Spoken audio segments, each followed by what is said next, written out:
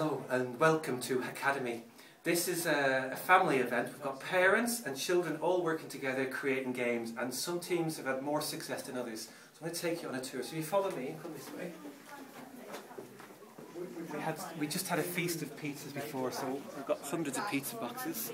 We've got a team here. You can see there's some adults and children working together trying to create a game. Trying to work. Lots of liquid refreshments, non-alcoholic, of course and pop and coffee and all this. Some people are making use of lots of different resources to exchange their ideas. And this is the real hub of what's going on.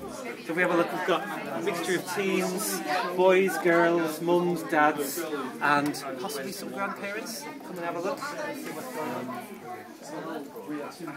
Some people have brought some very interesting head attire to keep their heads nice and warm. We have a look over there. Yeah. We'll have a look what's going on up here. Uh, we've got another team together. We've got mixed age, mixed year, mixed gender. And I'm not just talking about the dad. oh, bit of a dispute going on in a group here. We'll move to this group over here. An This, is this a family team we have here? Yeah. Oh, great. So we've got dad, brother and sister. Um, we'll have a look. Oh, we have a teacher who's come from another school to have a look. This is Ben. He's, he's observing to see what's going on. I am, yes. Okay. And just come back this way.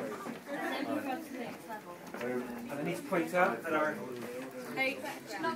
event generally sponsored by Tony's Pizzas in Preston.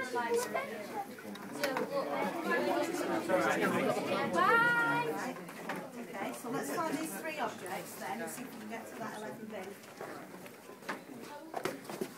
So, there you have it. What I'm really hoping is that if you've watched this video that you might be thinking this is the kind of thing that could happen in other schools. If you've got any ideas, send them to me. Thank you.